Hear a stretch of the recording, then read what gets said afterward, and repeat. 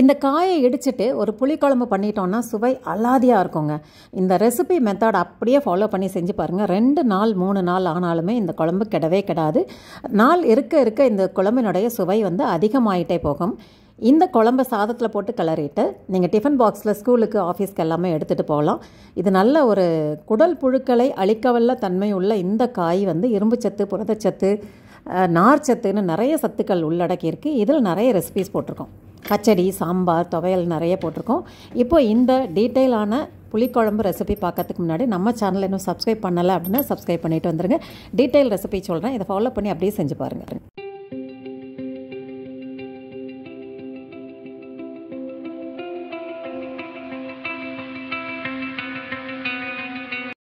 நல்ல விளைஞ்ச கொஞ்சம் முத்தலான சுண்டைக்காய்னு சொல்லலாம். ஐம்பதுலேருந்து நூறு கிராம் வரைக்கும் எடுத்துக்கலாம். நமக்கு குழம்பு வந்து இந்த காயை வச்சு இடிச்சிட்டு செய்யும்போது சுவை அற்புதமாக இருக்கும்.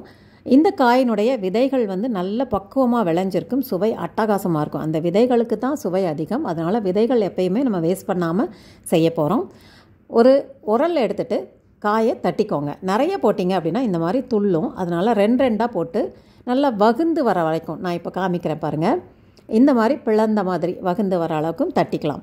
ரெண்டு ரெண்டாக சேர்த்துட்டு இது எல்லாத்தையுமே தட்டிட்டு பக்கத்தில் ஒரு பாத்திரத்தில் தண்ணி வச்சுருக்கேன். அந்த தண்ணியில் சேர்த்துடலாம் நிறம் மாறாது. அந்த விதைகள் வந்து கீழே வரும். அந்த விதையும் சேர்த்து அப்படியே தண்ணியில் சேர்த்துக்கலாம். உங்களுக்கு தேவையான அளவு சேர்த்துக்கலாம். இந்த சுண்டைக்காய்க்கு சுவை அட்டகாசமாக இருக்கும். இந்த விதைகளையும் தண்ணியில் அப்படியே சேர்த்து விட போகிறேன் இது சின்ன வெங்காயம் பூண்டு நல்லெண்ணெய் எல்லாம் சேர்த்து செய்கிறதுனால இந்த குழம்பினுடைய சுவை அட்டகாசமாக இருக்கும். இப்போ ஓரளவு எனக்கு தேவையான அளவு இடித்து தண்ணியில் சேர்த்துட்டேன். இந்த மாதிரி சேர்த்துக்கோங்க. இந்த விதைகள் கடைசியில் நம்ம வதக்கும் போது சேர்த்துக்கலாம். இந்த குழம்பு கட் பண்ணி செய்கிறத விட இந்த மாதிரி இடிச்சிட்டு செய்யும்போது சுவை ரொம்ப அட்டகாசமாக இருக்கும். அதுக்காக தான் இடித்து செய்கிறோம் ஒரு சின்ன எலும்பிச்சம்பழம் அளவு புளி எடுத்துகிட்டு ஊற வச்சுட்டு கரைச்சி வடிகட்டி ரெடியாக வச்சுக்கலாம். பேனை சூடு பண்ணிவிட்டு ஒரு மூணு டேபிள் ஸ்பூன் அளவுக்கு நல்லெண்ணெய் சேர்த்துக்கோங்க. சோம்பு சீரகம் வெந்தயம். இது மூணையும் சேர்த்து நல்லா செவந்து வர அளவுக்கும் பொரிய விட்டுருங்க. இது நல்லா செவந்து வரும்போது சின்ன வெங்காயம் பூண்டு. ஒரு பத்து பத்து பல்லு எடுத்து தோல் உரிச்சிட்டு நீட்ட நீட்டமாக கட் பண்ணி வச்சுருக்கேன். சின்ன வெங்காயம் பூண்டு இதுக்கு மருத்துவ குணத்தை அதிகப்படுத்தக்கூடிய தன்மை இருக்குது அதனால் சின்ன வெங்காயம் சேர்த்துருக்கேன். இதை சேர்த்து நல்லா வதக்கிக்கோங்க. இது ஓரளவு நல்லா செவந்து லைட்டாக செவந்து வர அளவுக்கும் வதக்கிக்கோங்க. கருவேப்பிலை சேர்த்துக்கலாம். மனம் நல்லாயிருக்கும் ஓரளவு வதங்கி வரும்போது நம்ம இடித்து வச்சுருக்கோம் இல்லையா சுண்டக்காய்? அதை தண்ணி நல்லா வடிச்சிட்டு தண்ணி இல்லாமல் இந்த காய்களை மட்டும் எடுத்து அந்த வெங்காயம் பூண்டோட சேர்த்து நல்லா வதக்கிக்கலாம். இந்த சின்ன வெங்காயம் பூண்டு சுண்டக்காய் இது எல்லாமே எண்ணெயில் நல்லா வதங்கிடணும். பாதி அளவுக்கு வேகிற அளவுக்கு வதக்கிடுங்க. அந்த தண்ணியை வடிச்சிட்டு கீழே அந்த விதைகள் இருக்கும். அந்த விதையும் சேர்த்து வதக்கிக்கலாம். அந்த விதைகள் சேர்த்த உடனே அந்த விதைகள் அந்த வதங்கும் போது கொஞ்சம் வெடிக்க ஆரம்பிக்கும். அதனால் கவனமாக இதை அப்படியே நல்லா வதக்கிக்கோங்க. ஒரே மாதிரி எல்லாம் நல்லா வதங்கி வந்ததுக்கப்புறம் நான் இப்போ அந்த விதைகளையும் சேர்த்துக்கிறேன். நல்ல சவப்பாக பழுத்த பெரிய தக்காளி எடுத்து நல்லா பொடி பொடியாக கட் பண்ணி வச்சுருக்கேன். இந்த ஸ்டேஜில் அந்த தக்காளியும் சேர்த்து நல்லா தோல் விட்டு வர்ற அளவுக்கு நல்லா வதக்கணும். இப்போ பொடி பொடியாக கட் பண்ண தக்காளியை சேர்த்துட்றேன் தக்காளி உங்களுக்கு சீக்கிரமாக வதங்கி வராது அப்படின்னா இந்த குழம்புக்கு தேவையான உப்பையும் இந்த ஸ்டேஜில் நம்ம சேர்த்துடலாம் சேர்த்துட்டோன்னா தக்காளி நல்லா மசிஞ்சு வதங்கி வந்துடும். மூடி போட்டு விட்டிங்கன்னாலுமே சீக்கிரமாக வதங்கிடும். அதுவும் ஒரு ஈஸி டெக்னிக் ஈஸியாக சமைக்கிறதுக்கு ஹெல்ப்பாக ஹெல்ப்ஃபுல்லாக இருக்கும். கொஞ்சம் மஞ்சப்பொடி சேர்த்துட்டு மூடி சேர்த்து விட்டுருங்க. மீடியம் ஃப்ளேமில் வச்சுட்டிங்கன்னாவே நல்லா மசிஞ்சு வந்துடும்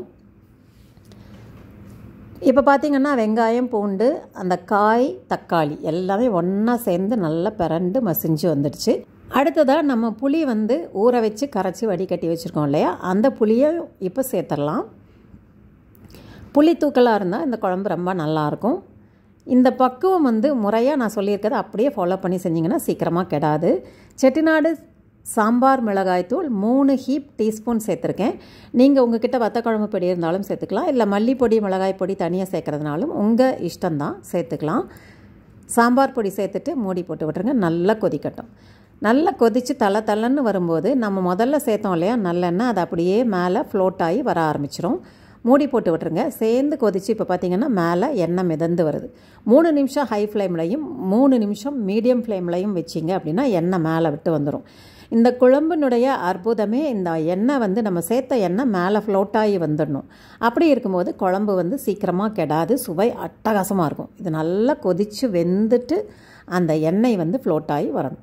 அப்போது உங்களுக்கு அந்த குழம்பு வந்து பக்காவாக ரெடி ஆகிடுச்சு அப்படின்னு நமக்கே புரிஞ்சிருக்கும். அந்த குழம்பு அந்த மாதிரி பக்குவத்தில் நிதானமாக குக் பண்ணும்போது சீக்கிரமாக கெட்டு போகாது. அந்த சுவை ரொம்ப டிஃப்ரெண்ட்டாக இருக்கும். நீங்கள் செஞ்சு பாருங்கள் இந்த மெத்தடில் இடித்து செய்யக்கூடிய சுண்டக்காய் குழம்பு ரொம்ப அற்புதமாக இருக்கும். சூடான இட்லி தோசைக்கு கூட ரொம்பவே நல்லாயிருக்கும் மட்டன் குழம்பெல்லாம் தோற்று போகுங்க. அந்த அளவுக்கு சூப்பரான இந்த சுண்டக்காய் குழம்பு ஆரோக்கியத்துக்கு ரொம்பவே நல்லது. இந்த வீடியோவில் சொல்லியிருக்க இதே பக்குவத்தில் இந்த குழம்பு செஞ்சு பார்த்துட்டு எப்படி இருந்தது அப்படி- அப்படின்னு உங்களோட அனுபவத்தை கமெண்ட் பாக்ஸில் ஷேர் பண்ணிக்கோங்க. வீடியோ பிடிச்சிருந்ததுன்னா ஷேர் பண்ணிக்கோங்க. நிறைய பேருக்கு இது உபயோகமாக இருக்கலாம். சுண்டைக்காய் வச்சுட்டு நிறைய ரெசிபி போட்டிருக்கேன். அதையும் நான் லிங்க்கில் கொடுக்குறேன். பார்த்துக்கோங்க. சுவை ரசிக்கலாம் வாங்க. தேங்க்ஸ் ஃபார் வாட்சிங்